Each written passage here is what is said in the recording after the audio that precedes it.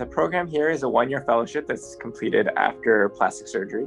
It is uh, has an operative focus, and so we generally are operating about four days a week uh, with a day of clinic. It's a pretty well-rounded um, fellowship where uh, we don't focus just on one area. We do probably about 65, 70% breast. A little bit of head and neck. We are now doing surgeries for lymphedema. We get about 15, 20% of extremity cases, both trauma and oncologic.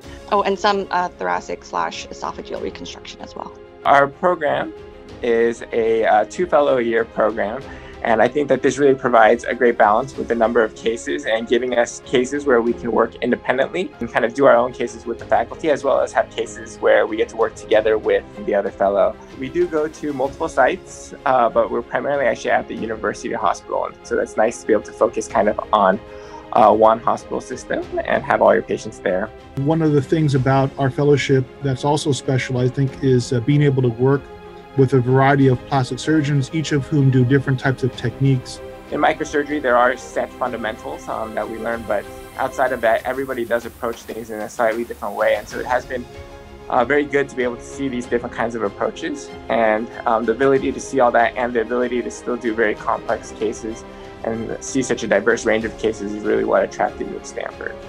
They're only here for 12 months, so it is a bit of a different type of experience than what the residents would achieve over the course of six or seven years.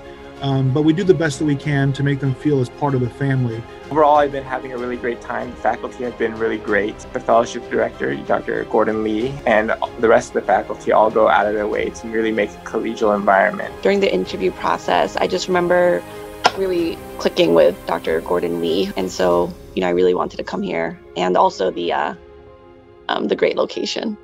I think it is a unique place to be in Silicon Valley in terms of all the tech around the area. Some of our fellows have taken advantage of the biodesign program, even develop teams and be part of small startups.